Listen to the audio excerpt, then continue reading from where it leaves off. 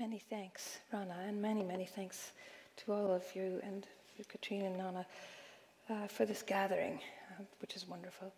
Um, in my work, I am often looking with half closed eyes at the urban world, focusing on buildings with shapes and outlines, but also on the matrix of rules and relationships uh, in which those buildings are suspended.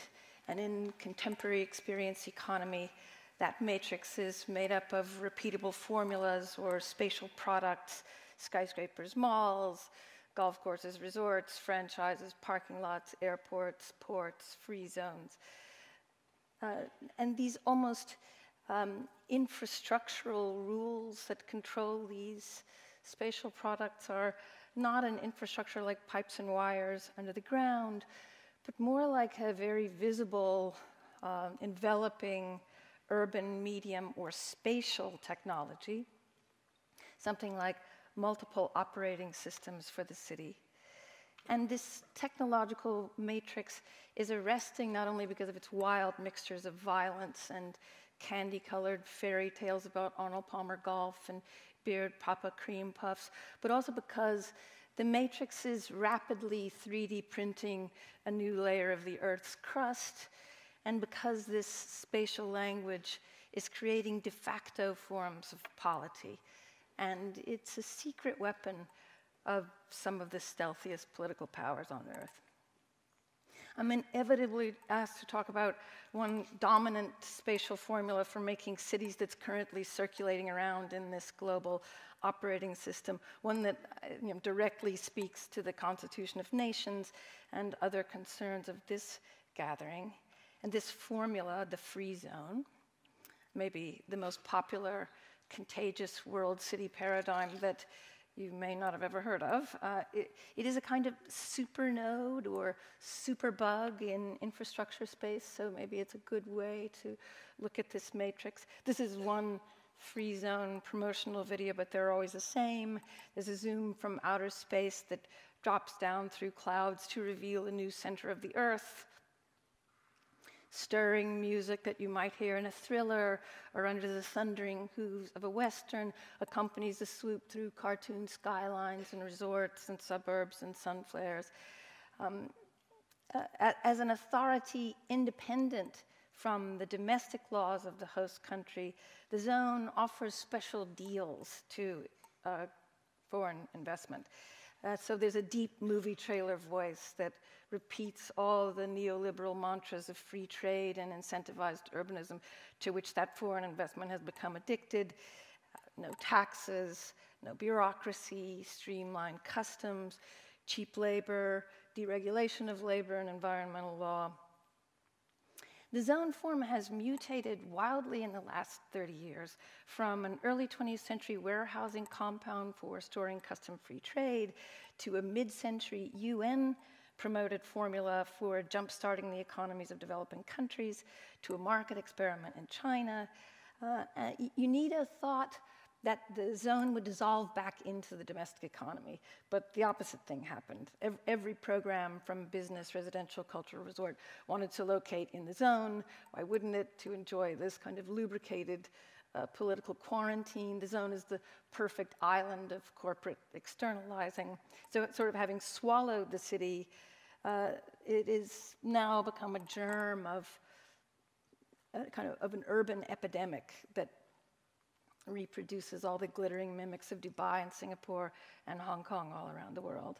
So in 30 years, the range of things called a zone expanded from being a manufacturing compound like this, or a maquiladora like this, or an office park, to a skyline like this, a megacity, uh, or this, or this.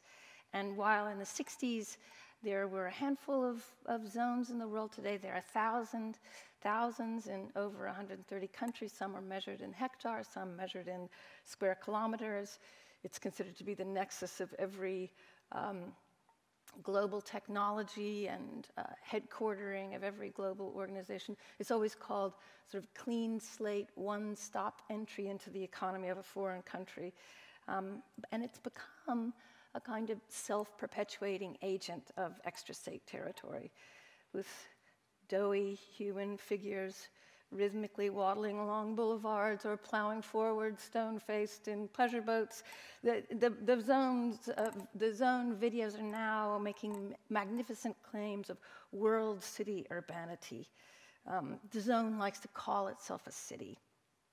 And as you probably know, maybe even more than China, Dubai has used the zone to distinct advantage because it's kind of an aggregate of zones uh, for almost every imaginable program, and, and most incorporating the word city. So there's, you know, Dubai Internet City, Dubai Healthcare City, Dubai Maritime City, and on and on, each with a different raft of, of exceptions, exemptions, and uh, in Dubai Media City, for instance, there's something like free speech for some people, but it, or Dubai International City, Dubai Industrial City, but it's also the same right around the world. This is high tech city outside of Hyderabad, and I could show you hundreds of others that use that word city. And then one finds also that, that major cities, even national capitals, want their own zone doppelganger that allows state and non state actors to use each other as brand or proxy or camouflage. This is New Songdo City. I'm sparing you the Sigur Rós, uh, soundtrack. But it's a double of Seoul in the Incheon Free Trade Zone, what its developer Stanley Gale calls a city in a box. It's based on New York, Venice, and Sydney, so it has a, a Central Park, a World Trade Center, Canal Street. Um, or, uh, surpassing irony, Astana, uh, the newly minted capital of Kazakhstan, um, here the capital, supposedly the center of law, in, um, in place of legal exemption, is in a kind of business free zone. So the zone is for me a very vivid vessel of what I have called extra statecraft, where extra means both outside of and in addition to the state. Um, extra statecraft describes not a, of course, not a, not a post national world, but a world where the nation just has a new set of sneakier partners and multiple nested forms of sovereignty and multiple overlapping forms of, of exemptions and exception so that the zone's factories or worker dormitories are still hidden, legally stabilized sites of labor abuse that are outside of any clear uh, jurisdiction. And the zone, ironically, uh, replaces state bureaucracy uh, with more and more layers of its own bureaucracy, the management standards that occupy another strata of infrastructure, the infrastructure space operating system, um, address labor and environmental abuse in the zone with best practice acronyms, bullet pointed lists, pyramids, mandalas, and motivational aphorisms, and sometimes you know, funded by the very companies that contract for the factory service, they only provide non binding, self certifying seals of approval that inoculate against further regulation.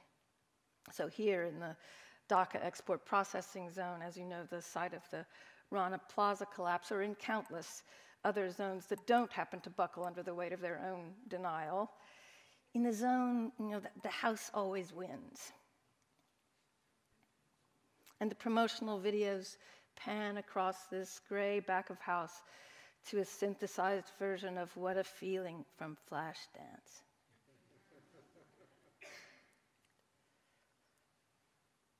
It's as if the zone emerges from its 30 year growth spurt as a strange form of intentional community with colored fountains and faith in golf. It's a place where Everyone speaks in Esperanto of that quality management ease. There are fantasy resorts and palaces where petrodollars can get away to relax. And any inconvenient people or political ac- uh, actions can simply be expelled.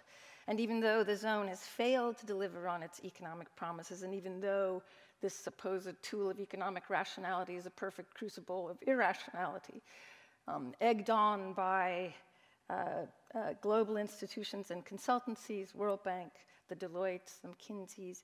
The zone is often bathed in redemptive rhetoric, treated as a necessary signal for entry into the global economy, so that the next poorest country wants that mirror tiled skyline at any cost. And the promotional videos become more and more delirious and unhinged as the zone becomes more and more contagious. I'll play just a little clip from some of this, uh, um, you know, zone porn. Nothing is as rare and desirable as diamonds.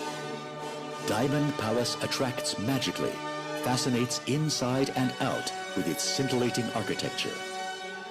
The inner design of the palace transforms the image and emotion of the diamond onto the visitor, letting them become a part of the myth of the diamond. So, you know, this is the massive, networked, physical plant, the special invention of extra statecraft, onto which so many nations are now ladling their own fresh, full throated anthems of another kind of nativism or nationalism uh, in what looks like a, a perennial disguise to further concentrate power. So, as unlikely as it may seem, this infrastructure space may be a good thing to think with. It trains the mind to see in a split screen. On, on the one side, declarations, laws, promotional stories about luxury, openness, relaxation, patriotism, freedom. But on the other side, the undeclared dispositions and potentials for violence that are imminent in the organization and arrangement. So it's almost as if it, it could train you to see with a kind of canine mind. You, know, you see things with names, you hear humans speaking words, but those things can't be comprehended in the absence of a thousand other affective cues and relative positions between things. The position of the human relative to the door of the dog bowl, um, their posture, their potential for violence, all being assessed equally with the sound of words and their assigned meanings. So, you know, with the, with the sound turned down, it's easy, pretty easy to detect, see that the zone has the disposition of a closed loop uh, that only circulates compatible information, and, and when challenged, that loop turns into a binary that denies or deletes its challenge, a contradiction like labor. The violence of the loop, the one and only, uh, is, is, not only the violence of the drawn sword, uh, uh, and sometimes it does, doesn't look like war or other darlings of history. It's the violence of remaining intact. And the political superbugs, whether they're zones or confidence men, are masters of that split screen, uh, relying on fluid, undeclared intentions, decoupling official declarations from dispositions. They're saying something different from what they're doing, different from what's different from the potentials imminent in the organization. But the superbugs that are the most venal, successful bullies, the strong men and the orange tinted ones, uh, combine that confidence man's crafty talent for wielding irrationality and fiction with an appetite for the fight, um, for, for more overt violence that tirelessly oscillates between loop and binary. They are the one and only. And any contradiction is not only expelled, but also tracked down and destroyed. And not only will they not back down, they're eager to deliver an offensive strike. But also, masters of the split screen, they know how lies work. They know that telling one lie is a bad idea, um, but telling many lies works very well. One lie calls for reconciliation and truth. Many lies creates a Teflon surface on, on which rationality begins to slip and slide. So in extra statecraft, reasonable things, you know, the usual earnest manifestos, master plans, right answers, are easily outmaneuvered by unreasonable politics. And just like telling one lie is a bad idea, being right is a bad idea in infrastructure space. It doesn't work against gurus and totalitarian bullies and other bulletproof forms of power. It feeds the bullies their binaries and it has no Teflon. It's too weak. And the designer can hardly hope to be successful without knowing how to play both sides of the screen, considering the spatial change as well as the spin that propels it, the irrational desires that accompany any innovation. But working in this matrix space also inspires an expanded repertoire of form making and political activism, another set of aesthetic and political capacities. So, beyond the well rehearsed um, master plans of the designer, are some alternative organs of design. Maybe uh, protocols of interplay that offer not solutions, but explicit interdependencies that unfold in time and that can be agile enough to respond to the moment when they're outmaneuvered. And maybe this art of organizing interplay as a branching set of iterative moves, maybe it's something like being good at playing pool, where you, knowing one fixed sequence won't do any good, but being able to see networks of possibilities allows you to play longer, ricochet, uh, nothing's directly lined up, um, allows you to add more information to the table.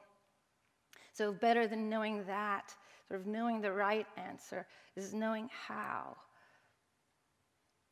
It, it takes a while and too many examples to unwind the idea of designing interplay. We, I work on interplay for jungles and roads and broadband, for transportation switching, for retreating from floodplains, for even putting the development machine into reverse.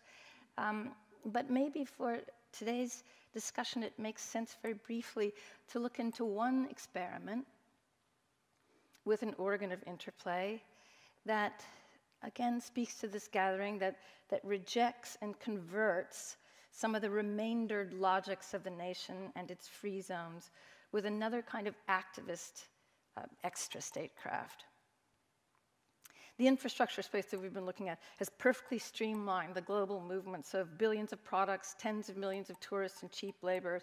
But at a time when 65 million people in the world are displaced, there's no way to move several million people away from atrocities like those in Syria. That problem can't, can't be solved.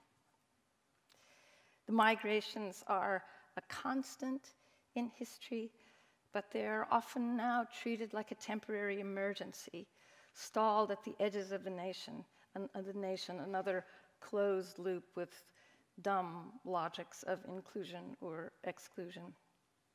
And the extra state layers of governance, like the NGOcracy, NGOcracy offers their prevailing idea storage in a refugee camp for a form of detention lasting on average 17 years.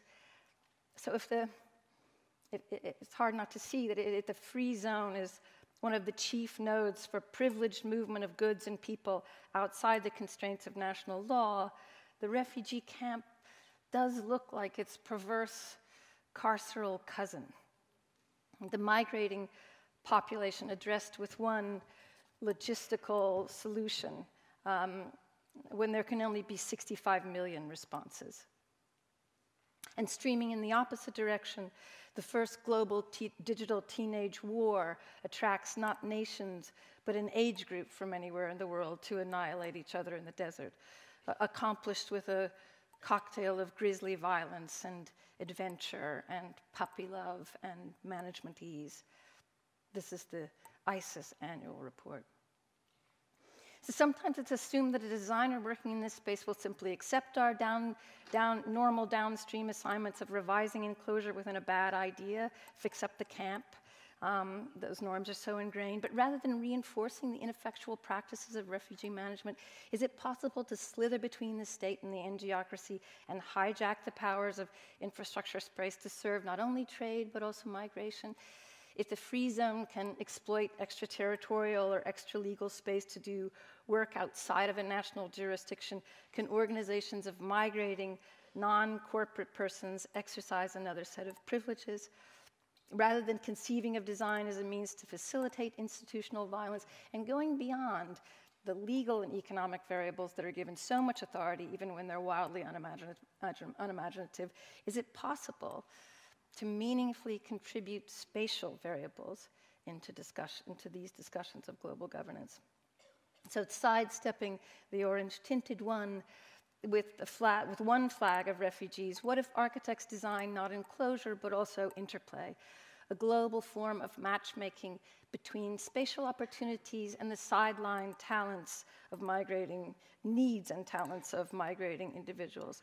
So, in advance of the emergency camp, might there be several other forms of evacuation and passage organized around intervals of time, multi year seasons of life, um, a branching set of options that are both more practical and more politically agile about arrival and settlement or ongoing travel for those who never wanted the citizenship that the state withholds or finally bestows.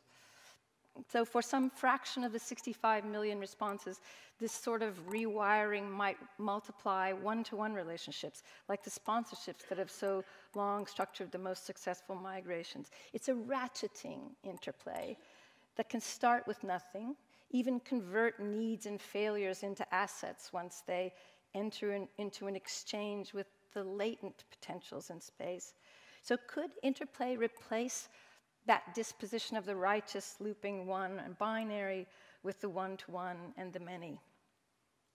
It's not as if the free that's laughingly associated with free trade uh, transposes to free migration. Free, free only generates another conundrum in which one has to keep asking whose freedom and whose exploitation. Free is one of the favorite songs of the superbug. So, might this mobility describe not another freedom, but another cosmopolitanism that relies on interplay and interdependencies? Um, and with deep skepticism, how much interdependence safeguards against the exploitation and trafficking that ordinarily accompanies free trade. Yet, however foolhardy or reliant on naivete and countering other teenage adventures of war. Could this be a world of learning, linguistic, diplomatic, leadership credentials? Could this passage be anticipated and celebrated? A story not about rejected, the rejected and the victimized who belong nowhere, but a story about those who belong everywhere finally, in the last minute, un- un- unburdened by truth, refreshed by lies and rumors, the superbug can confound the dissent that is itself a closed loop of right answers and ultimate righteous solutions, because fighting and being right sometimes nourishes the bully with the disruption and rancor that it craves. And it often seems that our clanking left right politics or neoliberal labels are completely inadequate to outwit these moving targets. There are certainly moments when dissent must stand up and declare opposition. Yet, as important as knowing that, knowing what to oppose, is knowing how to oppose it. The interplay that doesn't necessarily declare itself as a solution or a right answer might offer an additional technique that's agile, responsive, information rich, that keeps them guessing, a spatial activism of sneakier, dispositional, systemic changes that can be tilted towards different politics, surrounded by the same camouflaging bluffs of gifts and pandas and rumors and meaningless distractions and other totemic fictions that are so effective in culture. I mean, luckily, the superbug likes to see itself. So, with one foot gently resting on its neck? Can we work to outwit and maneuver it? A sneakier David never bothers to kill Goliath if he can use the giant's large size and many multipliers to amplify a change. So the activist who's too smart to be right, like a pool player, you know, can steal some of the powers of infrastructure space and design a snaking chain of moves to worm into and generate leverage against intractable politics. The infrastructure space may be the secret weapon of the most powerful, but two can play at this game. Thank you.